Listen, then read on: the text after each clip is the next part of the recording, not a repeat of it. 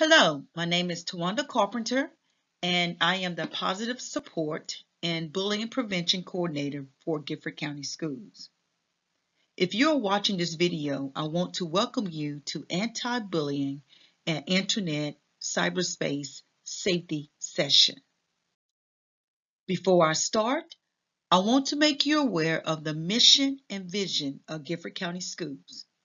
The mission of Guilford County Schools is Guilford County students will graduate as responsible citizens prepared to succeed in higher education or in the career of their choice. And the vision of Guilford County Schools is transforming learning and life outcomes for all children. So I have a very quick activity. I want you to think back to when you were in high school and think about a time that you witnessed someone being bullied. Can you recall your feelings? And if so, how did you feel? And how are you feeling now thinking about this situation? Take a moment and process this activity.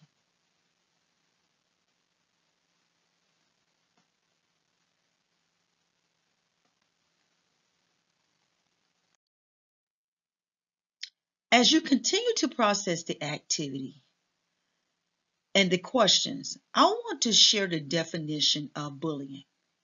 Bullying is unwanted aggressive behavior among school-age children that involves a real or perceived power imbalance.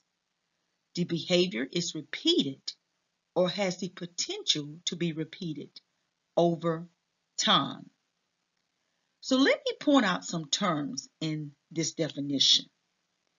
The difference in power meaning that the victim is weaker or is seen as weaker. For example, bullies may try to use physical strength, embarrassing information, or popularity to harm others. Repetition means it happens more than once or that it's probably going to happen again. So earlier, I asked you to think about a time you witnessed someone being bullied. And now I want you to imagine a student sitting at home, in class, or just out eating with their family. And they receive the following messages. You're fat. You're ugly. No one likes you. You're a loser. You have no friends. Think about the messages and think about how quick the messages can be sent to not just only one person, but to many with just one click. This type of behavior is referred to cyberbullying. Cyberbullying is inappropriate use of electronic communication. Cyberbullying has become a significant new problem in the past decade. The presence of handheld and other devices afford bullies constant access to their prey and the harassment can often be carried out anonymously. So cyberbullying includes sending inappropriate text messages, posting rumors on social media, sharing mean content about someone, sharing embarrassing pictures or videos online, sharing someone else's private information online, making threats against someone online, and also creating fake accounts and posting information to embarrass someone. Certain types of cyberbullying can be illegal.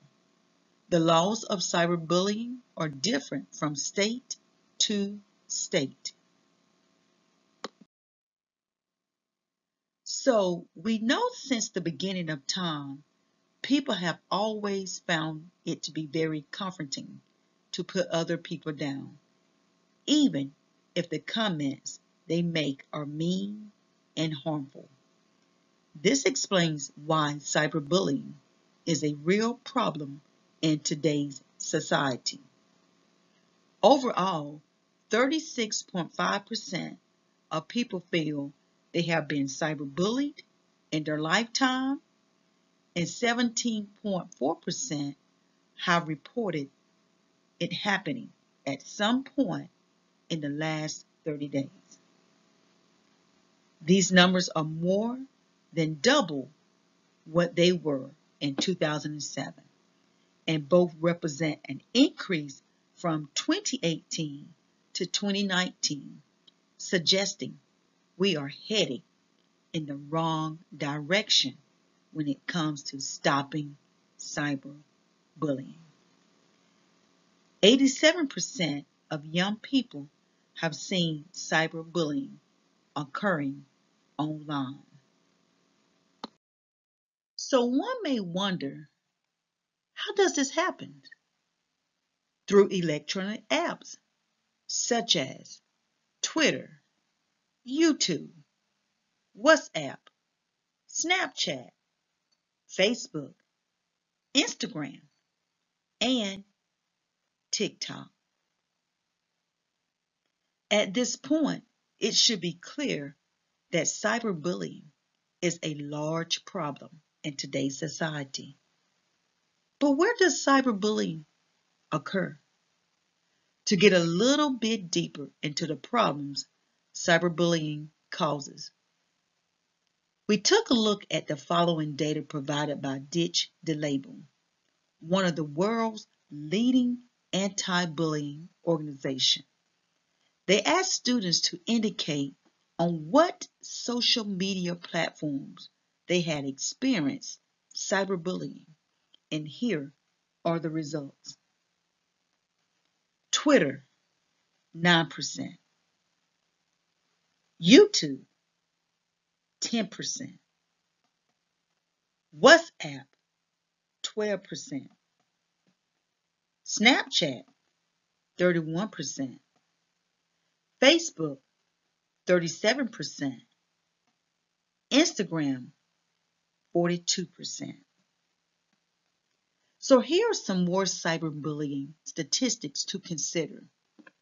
Over half of students who identify as being LGBTQ have experienced cyberbullying at some point according to stopbullying.gov and girls are more likely to be victims of cyberbullying than boys. Overall, around 36% of girls have reported being cyberbullied as compared to 26% of boys, according to Pew Research Center. And last, 83% of those who have been cyberbullied have also been bullied in person and 69% of those who admitted to bullying online have also admitted to in-person bullying. So we know that bullying is a serious problem that causes harm. And it doesn't just hurt the person who has been bullied. It can also be harmful for the bullies and for any kids who witness the bullying. Kids who are bullied can have problems at school and with their mental and physical health. They're at risk for depression, anxiety, and low self-esteem. These problems sometimes last into adulthood. To help you get a better idea about some of the impact cyberbullying can have on mental health, consider the following findings from the Ditch the Label study. In the survey, Students who have been cyberbullied were asked to identify what issues they felt occurred because of their experience with cyberbullying. The results were 9% began abusing alcohol and of drugs. 14% developed an eating disorder. 20% started skipping class. 24% stop using social media altogether. 25% engage in self-harm. 26% deleted their social media profiles. 26% had suicidal thoughts. 37% developed depression. And 41% developed social anxiety.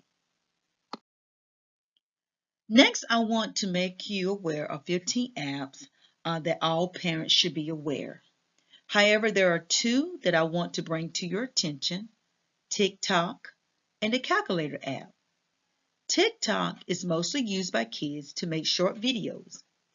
Due to the recent pandemic, this app has seen an increase in cyberbullying due to body shaming and leaving mean messages on the kids' uh, TikTok videos.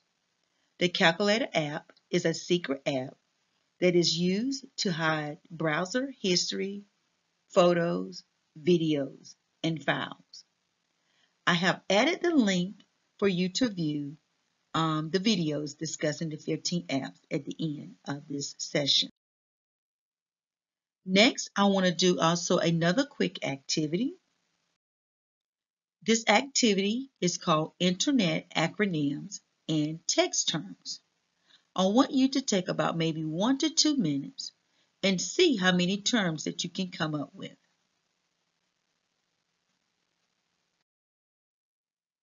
At your leisure, please go back and see how many you guessed correctly. The answers are here on slide 14.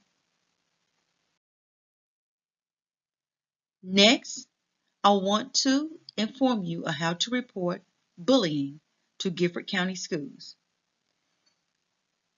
First, go to gcsnc.com, which is our Guilford County School homepage. Click on Departments, click on Student Support, and please scroll to the bottom right corner. You can click on elementary, middle, or high school or specialty school. Click on the form and download a copy or you can complete an electronic report. As I mentioned earlier, here's the link for the 15 apps that parents should know about and additional resources at stopbullying.gov and pacer.org. Once again, my name is Tawanda Carpenter. I am the Positive Support and Bullying Prevention Coordinator, and if you need to contact me, my number is 336 370 2303, or feel free to send me an email at carpent at gcsnc.com. Thank you and have a great day.